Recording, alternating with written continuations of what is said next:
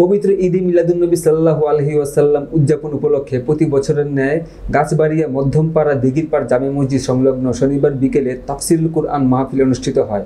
উক্ত মাহফিলে প্রধান মুফাসসির হিসেবে তাশরিফ পেশ করেন লাকসাম জালালিয়া দরবার শরীফ আলহাজ পীরজাদা মোহাম্মদ সোহরাব হোসেন জালালি। বিশেষ মুফাসসির হিসেবে তাশরিফ পেশ করেন ঢাকা থেকে আগত হজরত মাওলানা সাইফুল ইসলাম হেলালি।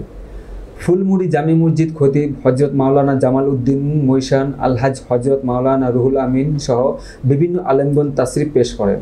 চৌদ্দগ্রাম উপজেলা যুবলীগের আহ্বায়ক সদস্য কন্ট্রাক্টর শাহজাহান এর সভাপতিত্বে ও অত্র মাহফিলের উদ্যোক্তা ইউপি মেম্বার শরীফুল ইসলাম নাইম এর পরিচালনায় বিশেষ অতিথি হিসেবে উপস্থিত ছিলেন সিলেট শাখার LGED officer A B M Saifuddin Sumon.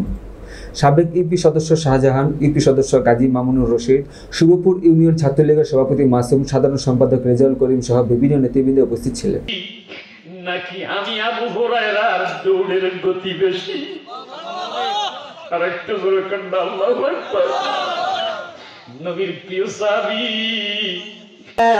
আমার ভাই নাইমকে আপনি গ্রহণ করেন। আল্লাহ নাইমকে যারা সহযোগিতা করে এ গত জীবনে কত তালাশ করেলাম খুঁজে।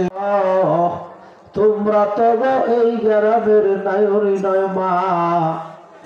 একদিন নতুন বধু হইয়া লাল অভিনন্দন জানাই সর্বশেষ আপনাদের কাছে কৃতজ্ঞতা যে আর আপনার সকলে সুন্দরভাবে আমাদের পর্যাপ্ত পরিমাণ বসলে একটু কত লামাসিগুনি আছে।